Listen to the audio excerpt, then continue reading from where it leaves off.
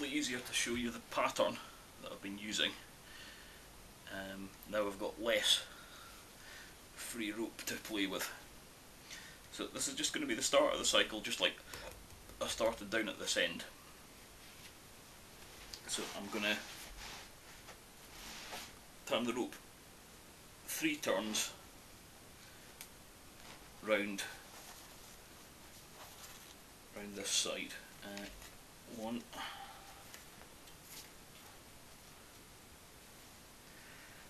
two,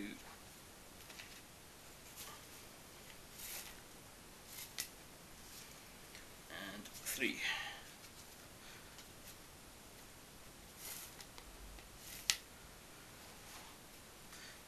And keep it tight, keep it packed up neatly so there's one, two, three. I find that piece of wood's just helpful just to tamp it all down.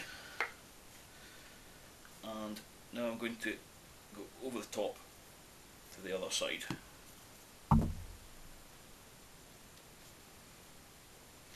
Straight across, not hard up against this side, straight line. So we're going one, two, three, across. Now I want to take my working end in between these two two strings. We'll take that in between. And I'm going to put this hard up against the bit I've already done. Now this is going to cross over, but I want it to cross over underneath. I want it to sit parallel on these three sides. These three sides can cross underneath. And again, I go round three times. So it's one,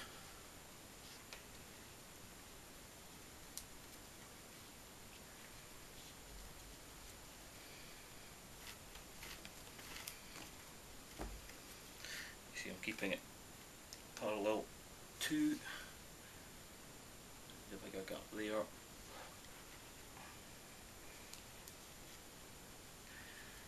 And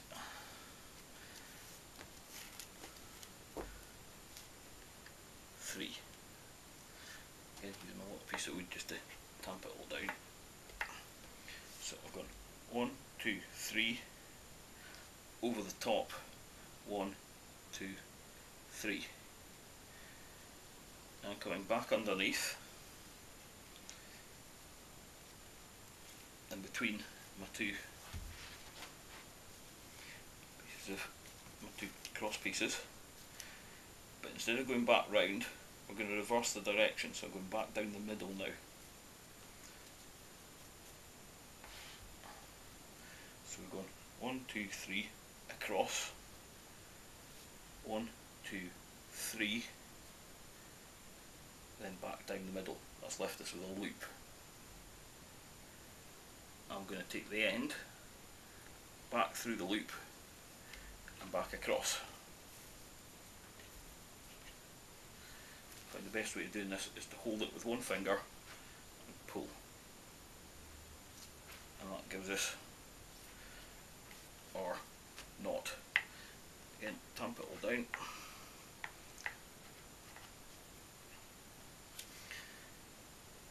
Back across to the side we started at.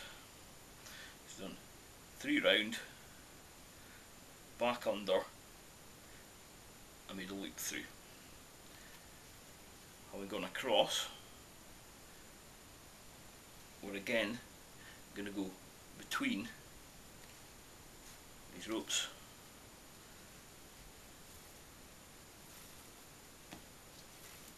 and back through the middle making a loop. And that finishes off that side. And we're back to the start again. We're ready to start going back round another three turns. And we keep going. Okay now I've got to the end. Um, I don't have room to do another cross. It's not going to quite be neatly um, coming down to three whippings at the end I'm just going to continue whipping this until the, the whole side is is full. And what we're going to do is go across one more time.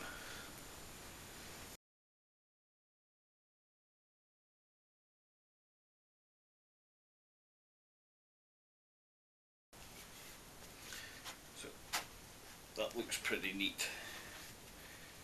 And I'm gonna of course this is where we left it. Um, the simplest solution is to just tie a knot where I finished and continue. I'll arrange it so the knot is underneath the seat. Um, if I was doing this all in the same colour of course um, I could just carry on with the same piece of piece of rope going round the side to start again with my whipping pattern. Okay, so I've gone round three times like we did before and the next step is to start weaving weaving it through the previous lacings. So I'm just going to work away with my free end there.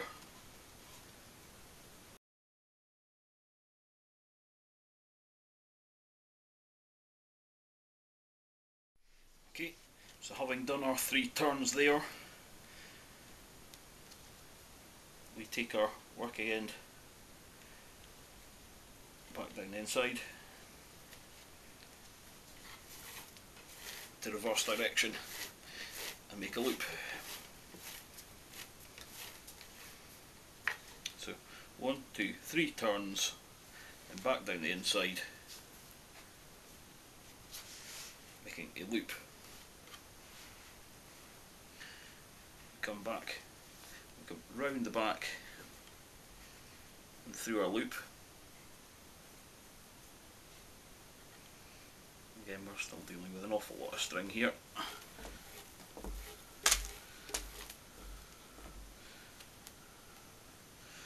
And pull it tight.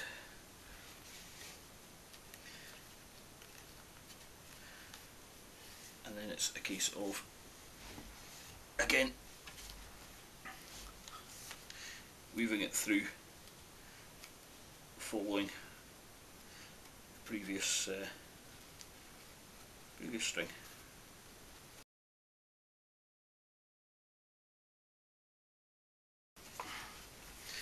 Go back to this end, come round, back up.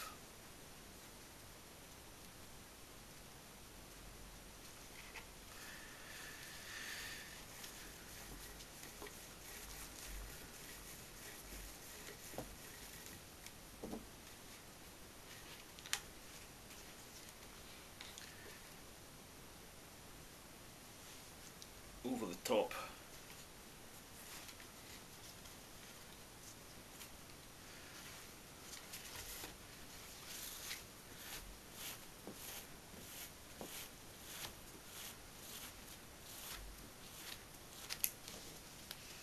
So we've come back this way, up underneath the bottom, over the top and round the back and we're ready to start with another three turns just like we did before.